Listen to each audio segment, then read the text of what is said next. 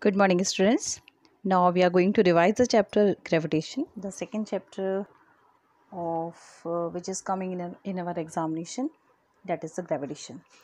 In this chapter, we have studied that uh, what is the gravity, what is the gravitational force. Actually, what is the gravitational force? We know that every object in this universe has some mass. So, every object in this universe attract another object. With a force which is called gravitational force. Every object like the planet uh, with the sun the uh, gravitational force is uh, also acting between the sun and the planets the planet and the satellites. All the objects in this universe even this uh, this sketch pen and this copy i have already uh, give this example to you that all the objects in this, in this universe have some attraction force which is called the gravitational force. And what is about the gravity? For the earth it always attract other object towards the center. And this attraction force is called the gravitational force or we can say the gravity of the earth. This is the gravity of the earth. And the acceleration produced in the object which falls on the earth is called the acceleration due to gravity in this chapter we start from uh, what is the gravity and what is the gravitational force. The scientist sir isaac newton was the first scientist who observed that every object on this earth is falls on the earth because of this gravitational force. And this gravitational force not only uh, act between the earth and the other object it also act between the different objects in this universe. So according to uh, him he go he gave a law. This is called the universal gravitational law. According to this law if two objects having the mass m1 and m2 suppose there are two objects having the mass m1 and m2 i am writing here m1 and m2 these are the two objects of different mass. And they are placed at a distance of d meter from each other.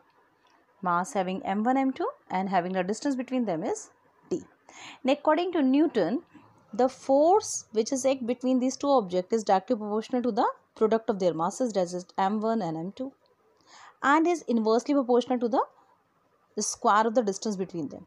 That is inversely proportional to the 1 upon d square. And by combining these two forms we can say directly proportional to the m1 m2 upon d square first of all you have to write the law universal law of gravitation. What is the meaning of universal law of gravitation?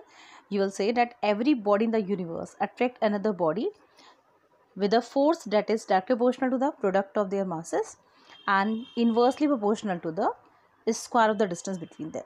And uh, then you have to write all these values that is f is the force suppose f is the force which is acting between the two objects having the mass m1 and m2 and the distance between them is d so according to Newton's law of gravitation, we can say F is directly proportional to the m1 m2 upon d square.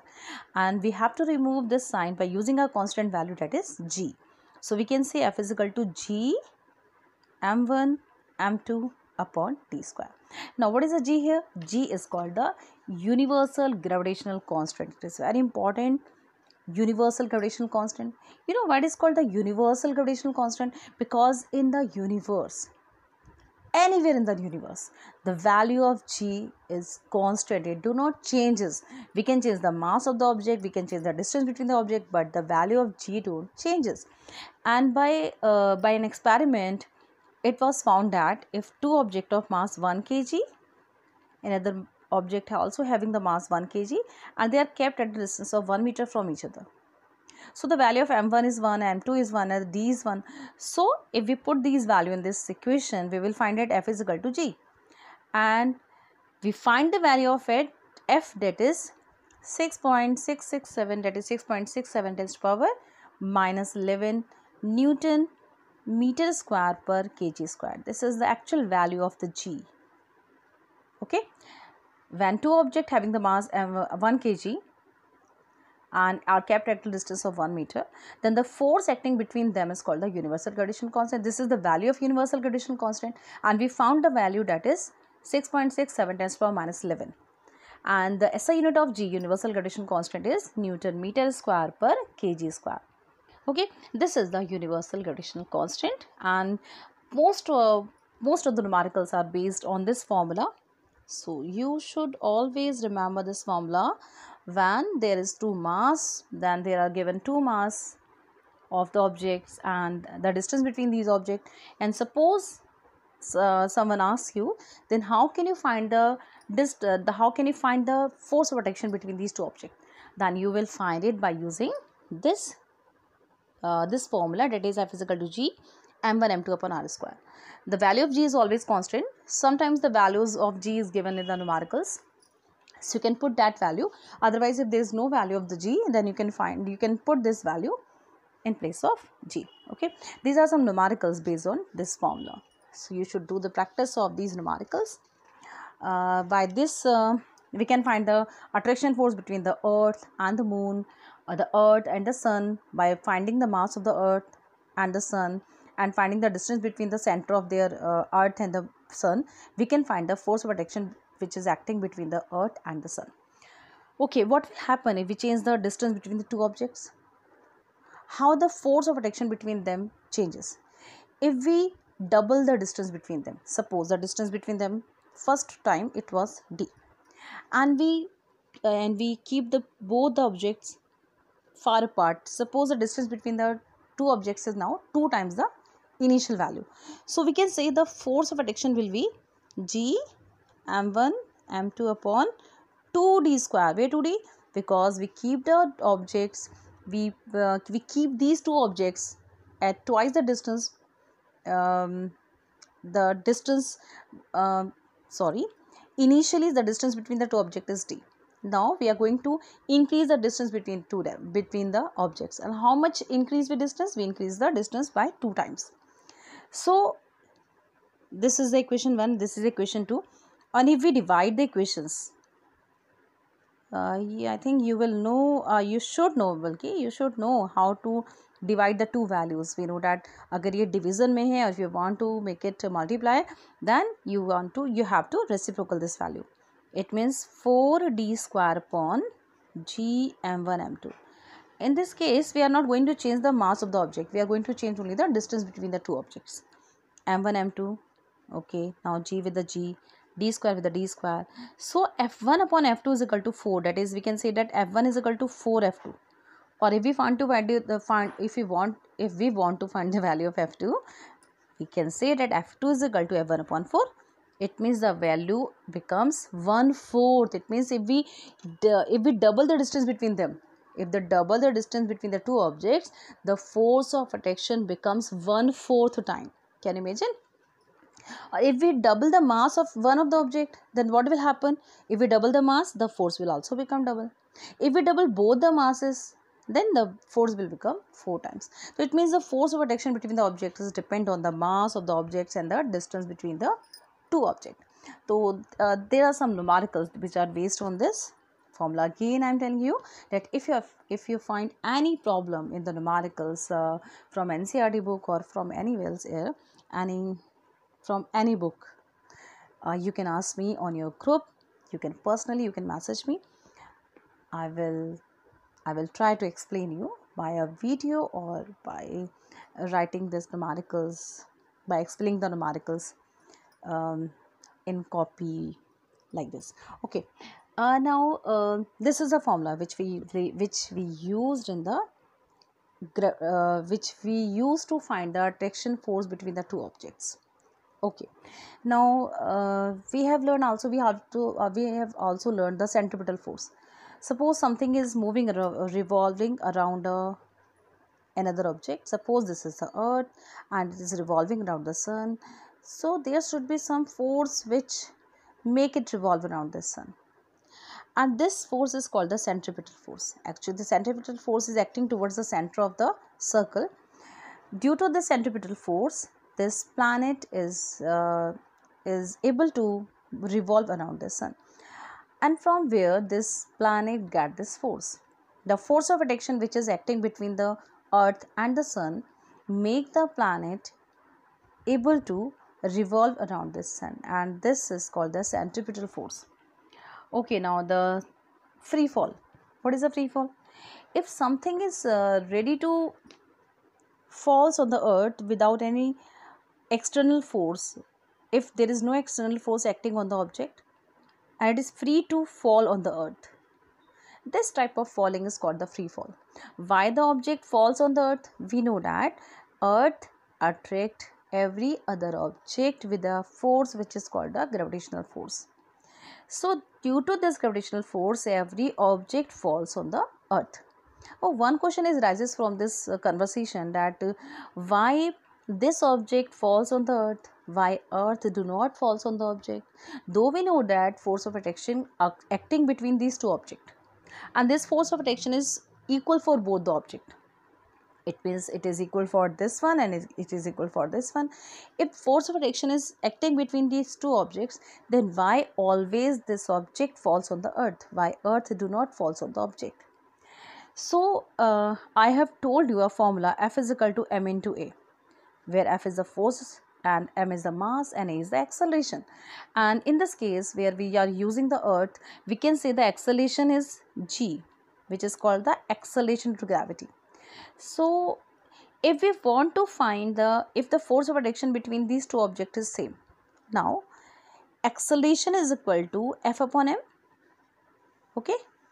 Now the acceleration depend on the mass more is the mass less will be the acceleration. And less mass will should have the more acceleration. About these two objects we know that this object has very less mass as compared to the earth. So due to so much less mass, the acceleration produced in this object is much higher. And the earth has a larger has a huge mass. So the acceleration produced in it is negligible. So that the object always falls on the earth and earth do not falls on the object. Okay. Now we will continue with the free falls. So something is free to fall on the earth and this type of falling is called the free fall. When an object is falls under the attraction force of the earth under the gravity of the earth it is called the free fall. Okay. So uh, when a object is free to fall on the earth there is some acceleration will be produced in the object. Because when we act when we force when we apply force on the object its acceleration it um, it gain acceleration or we can say the velocity going to changes. If we apply some force on the object what will happen? Its velocity will be decreases or its velocity will be increases. It means the velocity changes or if the velocity going to change we can say the object should have the acceleration. It means if earth is applying some force of attraction of this uh, to this object. It means this force of attraction should be um, should uh, should should it should it should uh, it should provide some acceleration in this object. And this acceleration which is provided by the earth due to the gravitational force of the earth is called the acceleration due to gravity because this acceleration is produced by the earth how can we find the value of this acceleration to gravity okay for the earth i am going to explain for the acceleration to gravity on the on the surface of the earth um, suppose uh, this is the earth having the mass uh, me and this is the object having the mass m and it is free to fall on the earth. Now the force of attraction which is acting between these two objects. Suppose the radius of the earth is re. The distance between the uh, earth and the object is uh, is near about re. Uh, it means the earth has a huge radius so in the comparison of this radius the distance between the object and the earth is so less so we can neglect neglect neglect this value the distance between these two objects so we are going to neglect it and i'm going to uh, write the value of distance between them is re that is the radius of the earth. So f is equal to g m me upon r square. Okay this is the force of attraction which is acting between the earth and the object now we know that force is equal to mass multiplied by the acceleration. So for this object, if we want to find the acceleration of this object, we have to write the F is equal to m into g. What is the g here? g is the acceleration of this object which is produced by the earth. So F is equal to m into g. is equal to g m m e square sorry g m m e upon r e square we can cancel the value same values that is m into m so g is equal to g m e upon r square. It is very important uh, derivation you know. The value of acceleration of gravity do not depends on the mass of the object.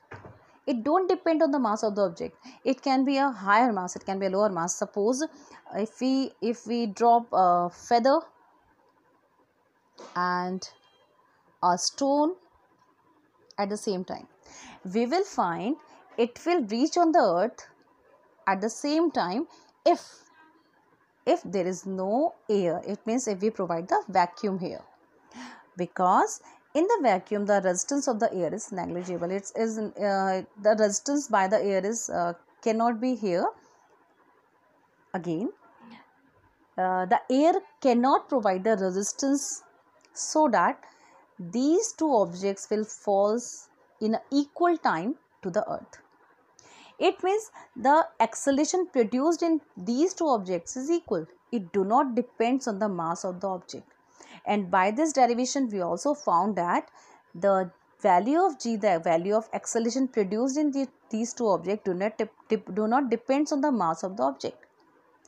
Uh, it can be happen the feather we know that naturally if uh, normally if we do some experiment we uh, we drop something from the roof of the house uh, we drop a feather and a stone. We know that stone will come to the earth faster as compared to the uh, it will take less time as compared to the feather. Because because there is a air and air will provide the resistance high resistance to this feather due to its lower mass and lower resistance to the stone. That's why the stone come to the fast come um, it it reach to the earth uh, in the short period of time as compared to the feather so this is the acceleration to gravity which do not depends on the mass of the object. Okay. We can find the value of g by value by putting the value of g capital g m e and r e square. And its value is uh, near about 9.8 meter per second square. This is the value of acceleration to gravity produced by the earth. Now uh, we have learned the three equation of motion v is equal to u plus at s is equal to ut plus half at square and third one is the v square is equal to u square plus 2s uh, in case of the gravitational force of the earth it means if we drop if we drop some object from the from some height to the earth or if we throw something in upward direction then then the acceleration we produced is due to the earth gravitational force.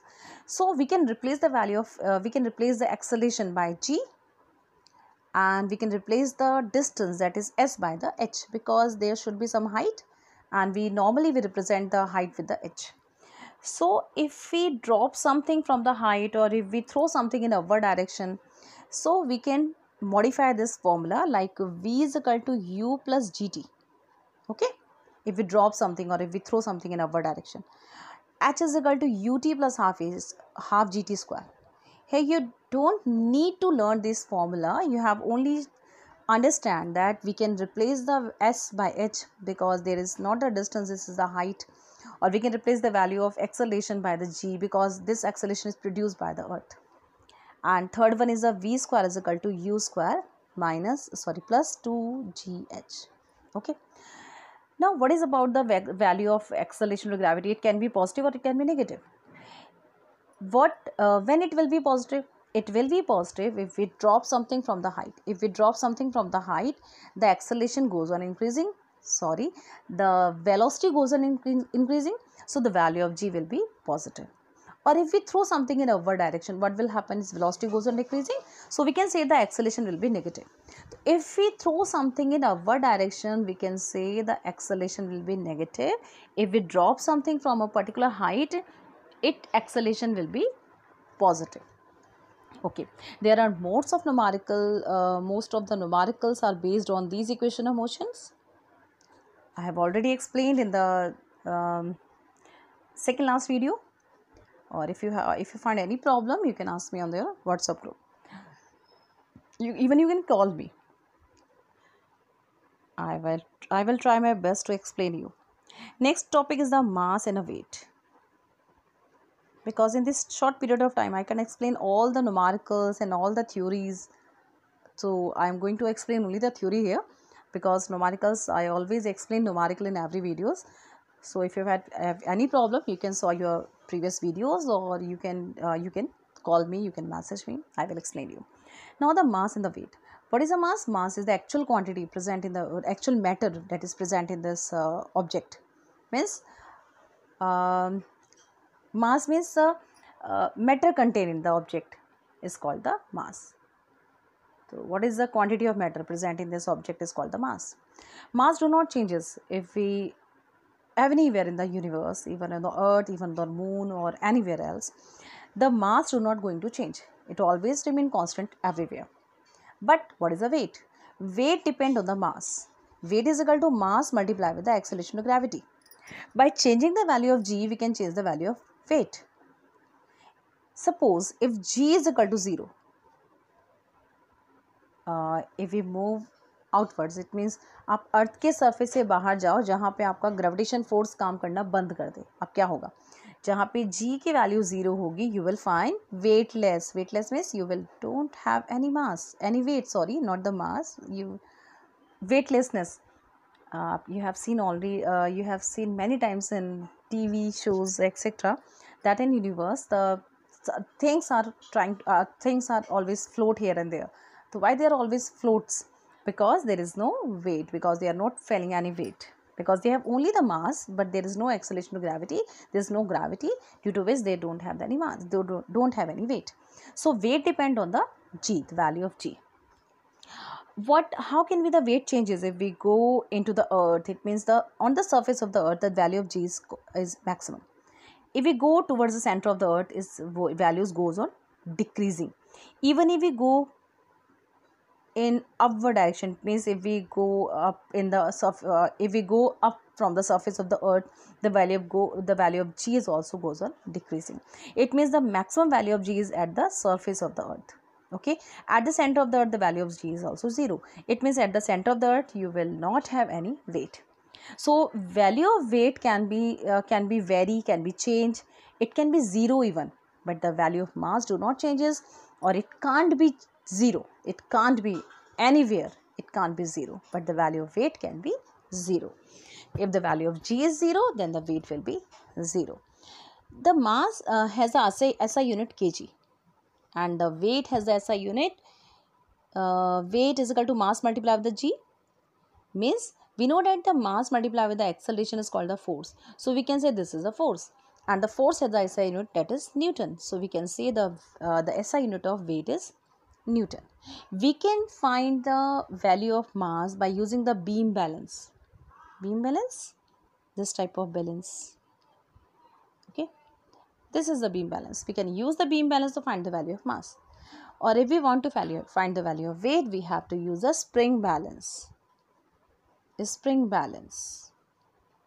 Spring balance we generally use for finding the weight of an object. Okay. Spring balance. Now by changing the value of uh, the radius or the mass, the value of weight also goes on changes.